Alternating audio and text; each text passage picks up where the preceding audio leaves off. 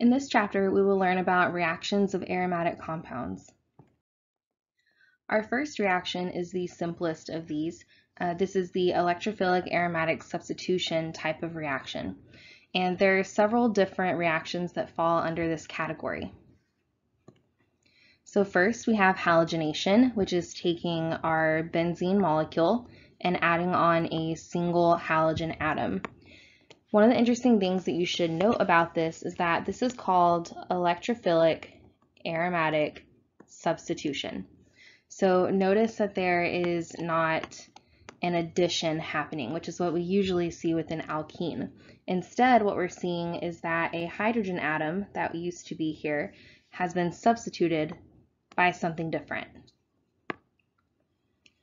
Our next one is nitration. This is the addition of a nitro group to the benzene ring, um, replacing the hydrogen.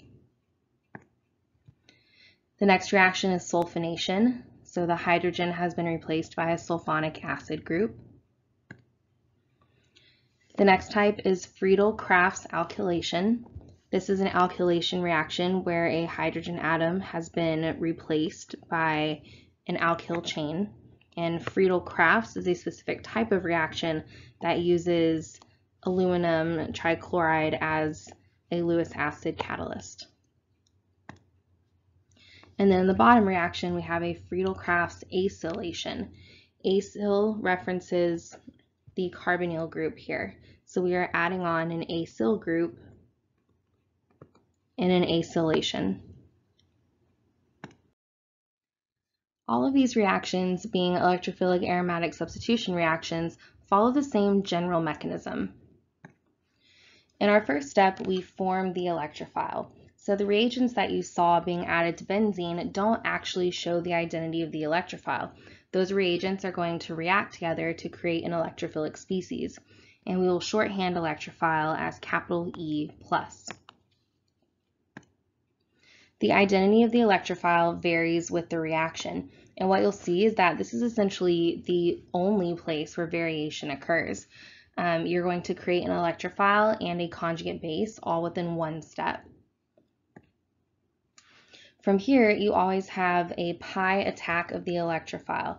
So the pi electrons in the benzene ring are going to attack the electrophile, just like in the first step of an addition reaction to an alkene. And then we're going to deprotonate the ring to reform our aromaticity. So we're going to look at this mechanism starting at step two, since the identity and the formation of the electrophile varies with each reaction. So if we start at step two, we have a benzene ring, and we have just formed the electrophile. From here, we're going to have a pi attack. So the pi electrons of benzene are going to attack the electrophile. This brings us to an intermediate where we've now created a bond to the electrophile. Remember that there is also a hydrogen on this atom because there was one here in the beginning. And we've created a carbocation here. This is where step three comes in you have a base that was probably created in step one. You're going to pull off the proton to push electrons back towards the carbocation. And this reforms the aromaticity of your ring. And this is ultimately one of the major driving forces of this reaction is that once you've created this carbocation, there's a huge driving force to go back down to the lower energy benzene ring.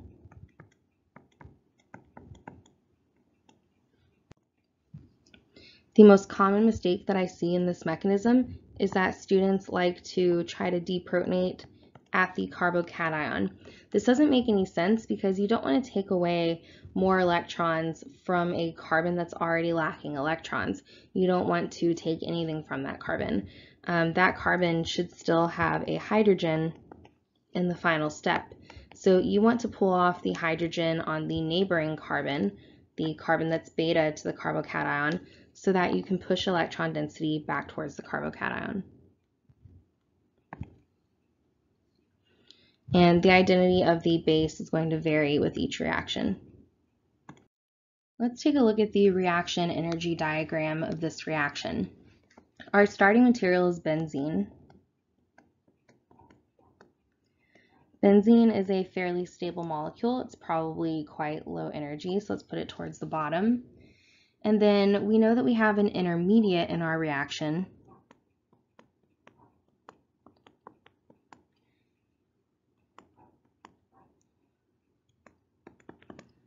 which occurs right after the addition of the electrophile, where we've created our carbocation.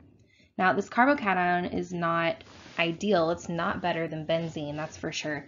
But it is going to be conjugated and it's allylic and we've created a new covalent bond by adding a bond to that electrophile. So it's not horrible either. And then our product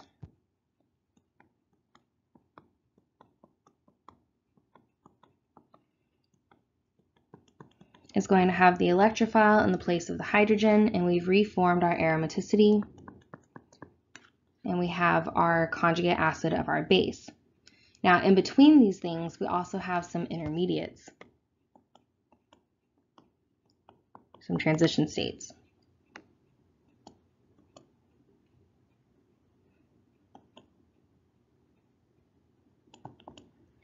So we have one where we are creating the bond to the electrophile and we have developing positive character on that carbon. And then in between our carbocation and our final product,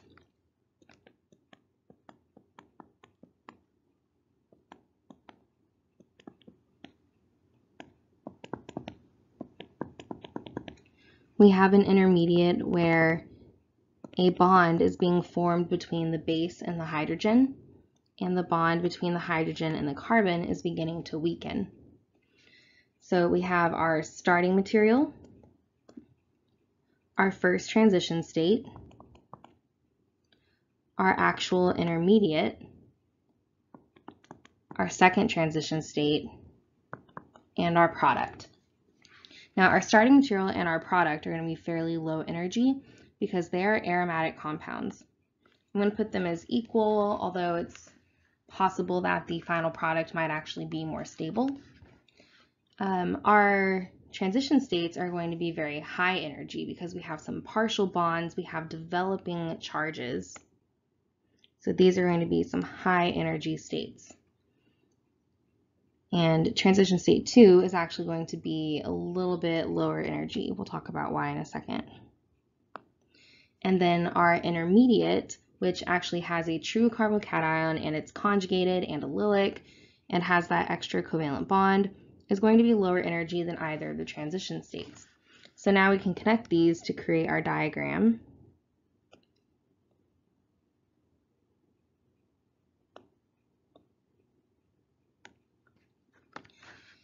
And let's take a look at some of these differences in energy. So our starting material is nice and low energy. To get to that first transition state, this is our energy of activation of this reaction. And this is a pretty high energy of activation. You have to take something that is aromatic and begin breaking that aromaticity. That's going to take a lot of energy put into the reaction.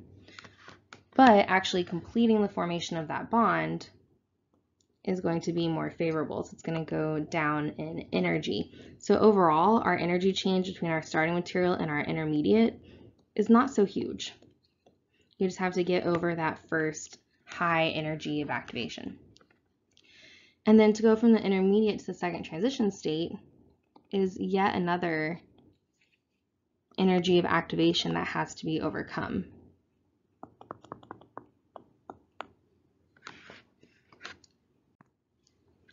But notice that this energy of activation is much, much smaller than the energy of activation going from our starting material to our first transition state.